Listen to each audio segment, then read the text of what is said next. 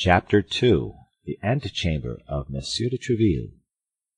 Monsieur de Troisville, as his family was still called in Gascony, or Monsieur de Tréville, as he has ended by styling himself in Paris, had really commenced life as D'Artagnan now did; that is to say, without a sou in his pocket, but with a fund of audacity, shrewdness, and intelligence which makes the poorest Gascon gentleman often derive more in his hope from the paternal inheritance than the richest Perigordian or Berrichan gentleman derives in reality from his. His insolent bravery, his still more insolent success at a time when blows poured down like hail, had borne him to the top of that difficult ladder called court favor, which he had climbed four steps at a time. He was the friend of the king who honored highly, as everyone knows, the memory of his father, Henry IV. The father of Monsieur de Tréville had served him so faithfully in his wars against the League that in default of money, a thing to which the Bearnais was accustomed all his life, and who constantly paid his debts with that of which he never stood in need of borrowing, that is to say, with ready wit. In default of money, we repeat, he authorized him, after the reduction of Paris, to assume for his arms a golden lion passant upon gules, with the motto Fidelis et fortis. This was a great matter in the way of honor, but very little in the way of wealth, so that when the illustrious companion of the great Henry died, the only inheritance he was able to leave his son was his sword and his motto. Thanks to this double gift, and the spotless name that accompanied it, Monsieur de Tréville was admitted into the household of the young prince, where he made such good use of his sword, and was so faithful to his motto, that Louis XIII., one of the good blades of his kingdom, was accustomed to say that if he had a friend who was about to fight, he would advise him to choose as a second himself first, and Tréville next or even perhaps before himself. Thus Louis XIII had a real liking for Tréville, a royal liking, a self-interested liking, it is true, but still a liking. At that unhappy period it was an important consideration to be surrounded by such men as Tréville. Many might take for their device the epithet strong, which formed the second part of his motto, but very few gentlemen could lay claim to the faithful, which constituted the first. Tréville was one of these latter.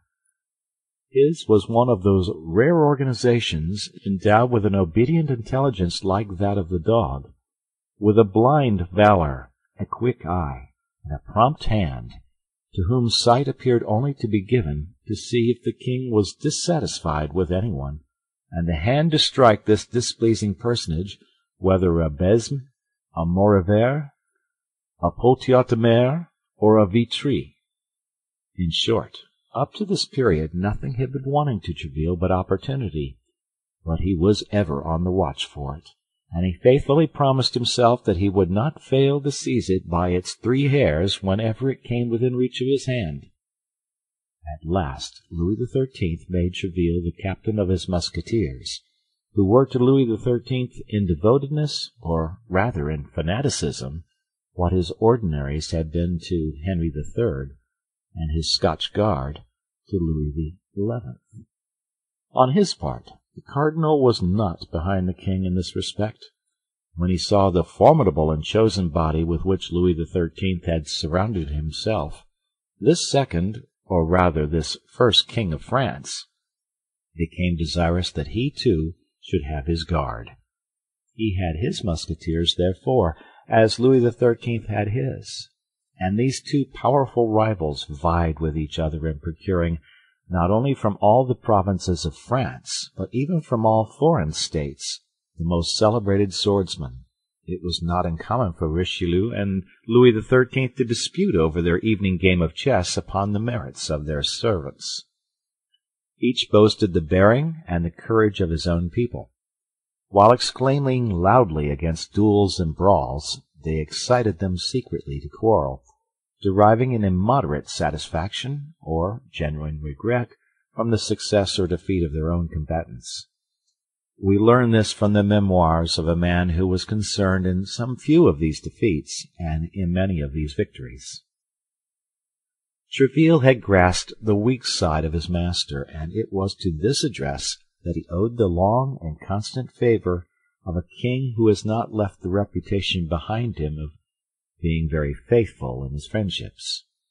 He paraded his musketeers before the Cardinal Armand du Plessis with an insolent air which made the grey moustache of his Eminence curl with ire.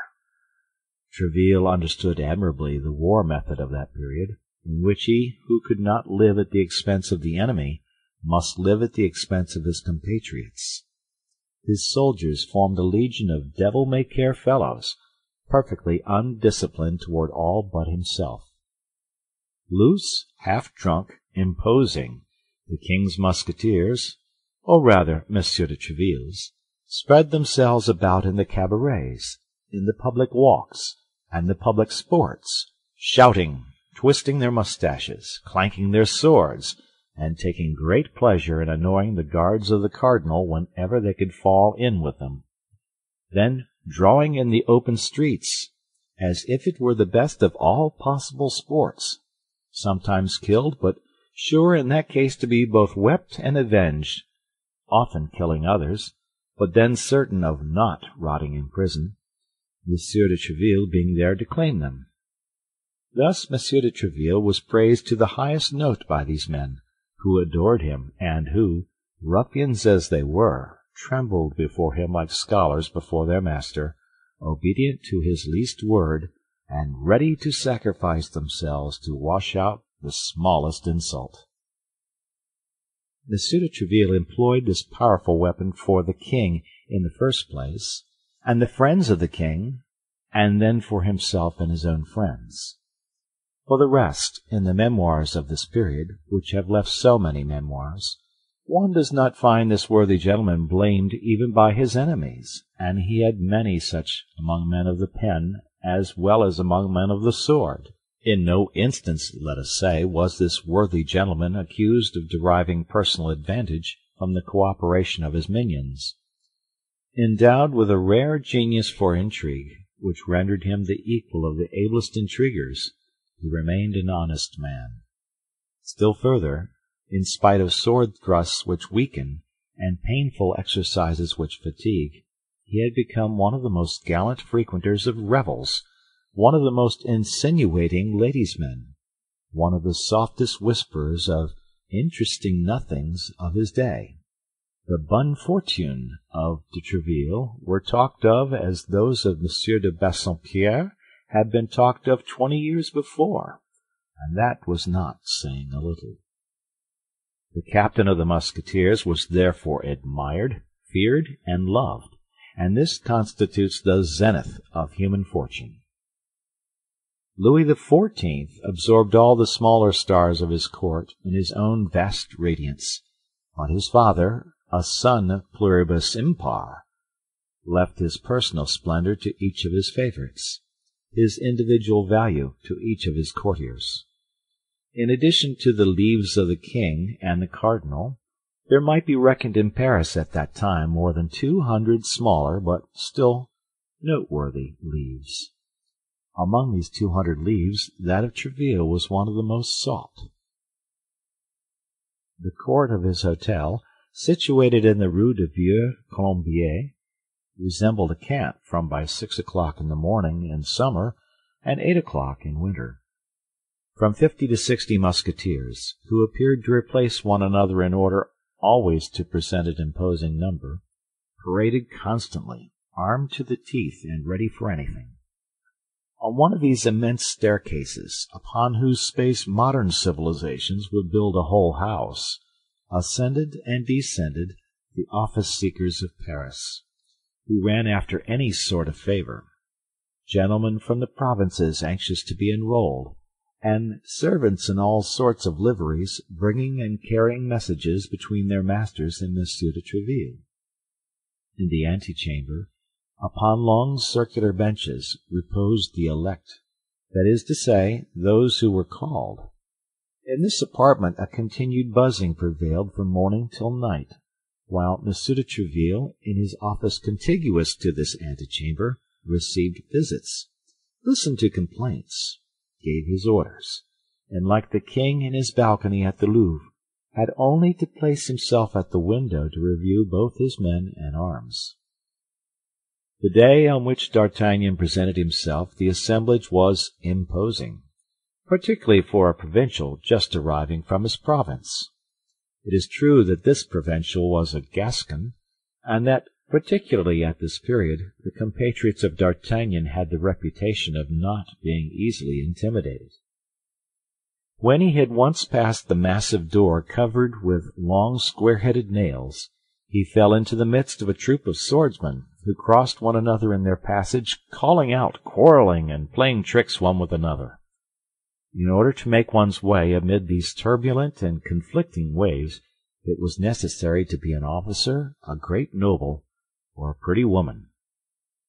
It was then into the midst of this tumult and disorder that our young man advanced with a beating heat, ranging his long rapier up his lanky leg, and keeping one hand on the edge of his cap, with that half smile of the embarrassed, a provincial who wishes to put on a good face. When he had passed one group he began to breathe more freely, but he could not help observing that they turned round to look at him, and for the first time in his life D'Artagnan, who had till that day entertained a very good opinion of himself, felt ridiculous. Arrived at the staircase, it was still worse. There were four Musketeers on the bottom steps, amusing themselves with the following exercise, while ten or twelve of their comrades waited upon the landing-place to take their turn in the sport. One of them, stationed upon the top stair, naked sword in hand, prevented, or at least endeavored to prevent, the three others from ascending. These three others fenced against him with their agile swords. D'Artagnan at first took these weapons for foils, and believed them to be buttoned. He soon perceived by certain scratches that every weapon was pointed and sharpened, and that at each of these scratches not only the spectators, but even the actors themselves laughed like so many madmen. He who at the moment occupied the upper step kept his adversaries marvellously in check. A circle was formed around them. The conditions required that at every hit the man touched should quit the game, yielding his turn for the benefit of the adversary who had hit him. In five minutes three were slightly wounded, one on the hand, another on the ear, by the defender of the stair, who himself remained intact, a piece of skill which was worth to him, according to the rules agreed upon, three turns a favor. However difficult it might be, or rather as he pretended it was, to astonish our young traveller, this pastime really astonished him. He had seen in his province, that land in which heads became so easily heated, a few of the preliminaries of duels, but the daring of these four fencers appeared to him the strongest he had ever heard of even in Gascony. He believed himself transported into that famous country of giants into which Gulliver afterward went and was so frightened, and yet he had not gained the goal, for there was still the landing-place and the antechamber. On the landing they were no longer fighting, but amused themselves with stories about women, and in the antechamber with stories about the court. On the landing D'Artagnan blushed, in the antechamber he trembled.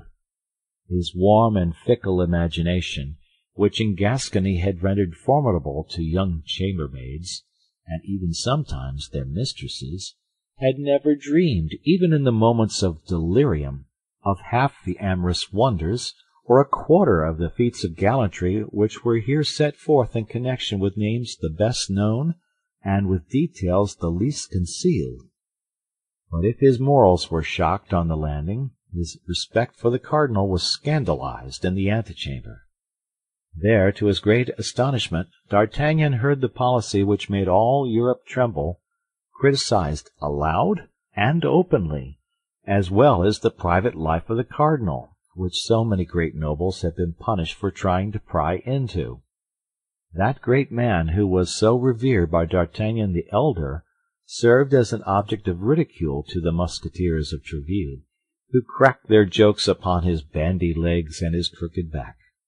Some sang ballads about Mademoiselle d'Aiguillon, his mistress, and Mademoiselle Combalet, his niece, while others formed parties and plans to annoy the pages and guards of the Cardinal Duke, all things which appeared to D'Artagnan monstrous impossibilities. Nevertheless, when the name of the king was now and then uttered unthinkingly amid all these cardinal jests, a sort of gag seemed to close for a moment on all those jeering mouths. They looked hesitating around them, and appeared to doubt the thickness of the partition between them and the office of Monsieur de Tréville. But a fresh allusion soon brought back the conversation to his Eminence, and then the laughter recovered its loudness, and the light was not withheld from any of his actions. Certes, these fellows will all either be imprisoned or hanged, thought the terrified D'Artagnan, and I, no doubt, with them.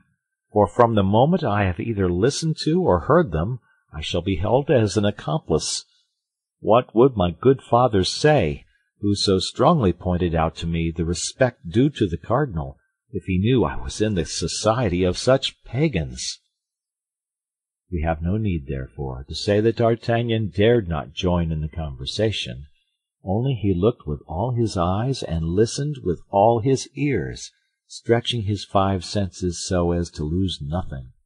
And despite his confidence on the paternal admonitions, he felt himself carried by his taste and led by his instincts to praise rather than to blame the unheard of things which were taking place.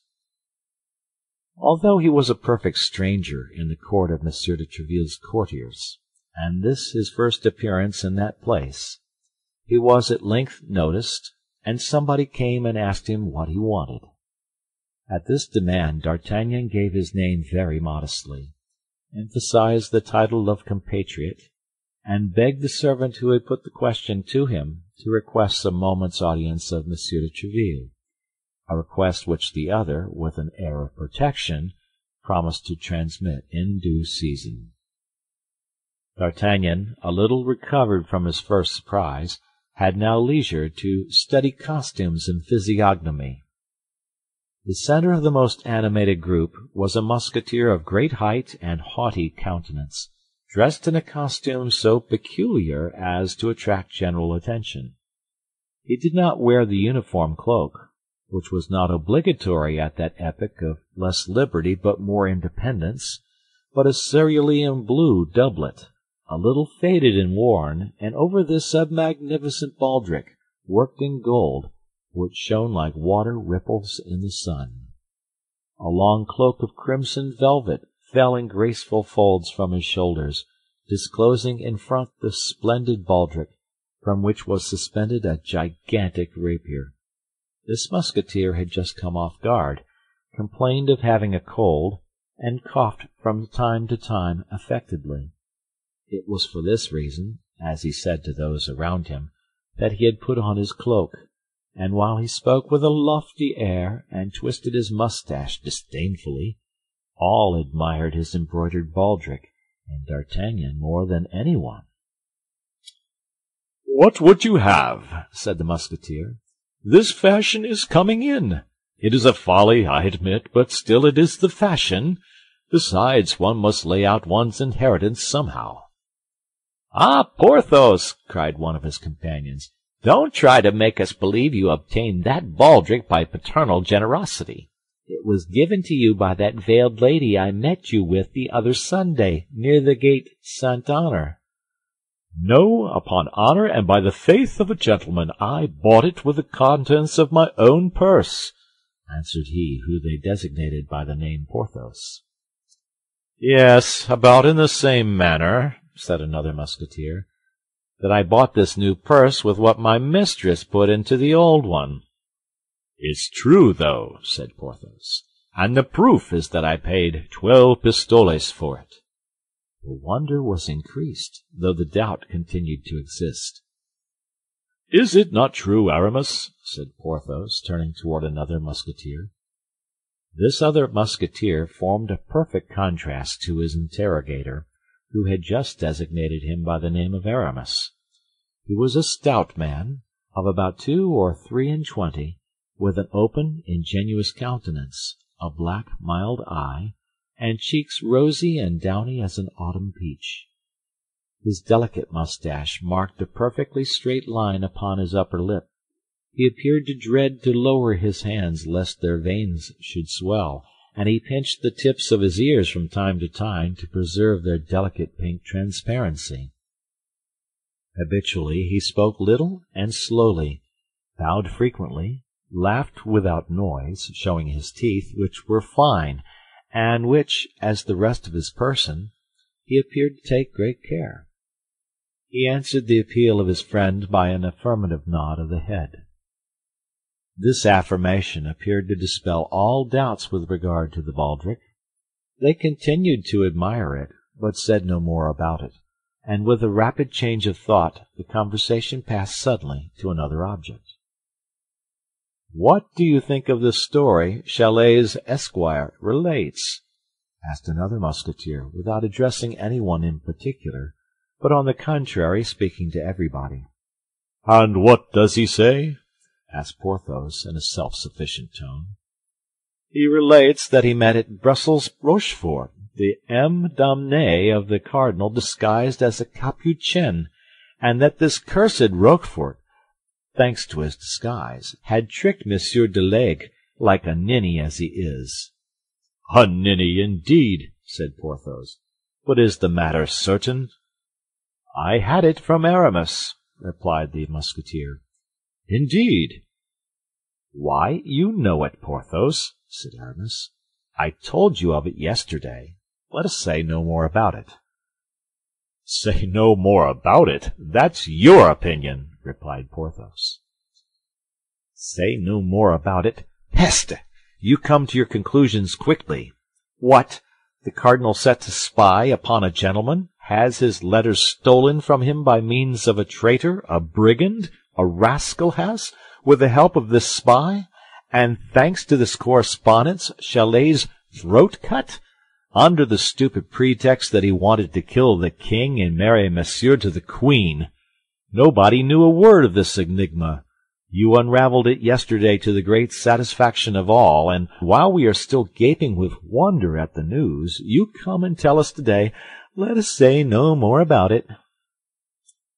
Well, then, let us talk about it, since you desire it, replied Aramis patiently. This Rochefort, cried Porthos, if I were the esquire of poor Chalais, should pass a minute or two very uncomfortably with me. And you, you would pass rather a sad quarter hour with the Red Duke, replied Aramis. Oh, the Red Duke! Bravo, bravo, the Red Duke! cried Porthos, clapping his hands and nodding his head. The Red Duke is capital. I'll circulate that saying, be assured, my dear fellow. Who says this Aramis is not a wit? What a misfortune it is that you do not follow your first vocation! What a delicious abbe you would have made! Oh, it's only a temporary postponement, replied Aramis. I shall be one some day. You very well know, Porthos, that I continue to study theology for that purpose. He will be one, as he says, cried Porthos. He will be one, sooner or later. Sooner, said Aramis. He only waits for one thing to determine him to resume his cassock, which hangs behind his uniform, said another Musketeer. What is he waiting for? asked another. Only till the king has given an heir to the crown of France. No jesting upon that subject, gentlemen, said Porthos. Thank God the queen is still of an age to give one. They say that Monsieur de Buckingham is in France, replied Aramis, with a significant smile which gave to this sentence, apparently so simple, a tolerably scandalous meaning. Aramis, my good friend, this time you are wrong, interrupted Porthos. Your wit is always leading you beyond bounds. If Monsieur de Tréville heard you, you would repent of speaking thus. Are you going to give me a lesson, Porthos? cried Aramis, from whose usually mild eye a flash passed like lightning. My dear fellow, be a Musketeer or an Abbe, be one or the other, but not both, replied Porthos. You know what Athos told you the other day. You eat at everybody's mess. Ah, don't be angry, I beg of you. That would be useless. You know what is agreed upon between you, Athos, and me. You go to Madame d'Aiguillon's, and you pay your court to her. You go to Madame de Bois Tracy's, the cousin of Madame de Chevreuse, and you pass for being far advanced in the good graces of that lady. Oh, good Lord, don't trouble yourself to reveal your good luck. No one asks for your secret. All the world knows your discretion. But since you possess that virtue, why the devil don't you make use of it with respect to her majesty? Let whoever likes talk of the king and the cardinal, and how he likes, but the queen is sacred, and if anyone speaks of her, let it be respectfully. Porthos, you are as vain as Narcissus, I plainly tell you so, replied Aramis. You know I hate moralizing, except when it is done by Athos. As to you, good sir, you wear too magnificent a baldric to be strong on that head. I will be an abbe if it suits me. In the meanwhile I am a musketeer. In that quality I say what I please, and at this moment it pleases me to say that you weary me. Aramis! Porthos! Gentlemen, gentlemen! cried the surrounding group. Monsieur de Tréville awaits Monsieur d'Artagnan, cried a servant, throwing open the door of the cabinet. At this announcement, during which the door remained open, everyone became mute, and amid the general silence the young man crossed part of the length of the antechamber, and entered the apartment of the captain of the Musketeers, congratulating himself with all his heart at having so narrowly escaped the end of this strange quarrel. End of chapter.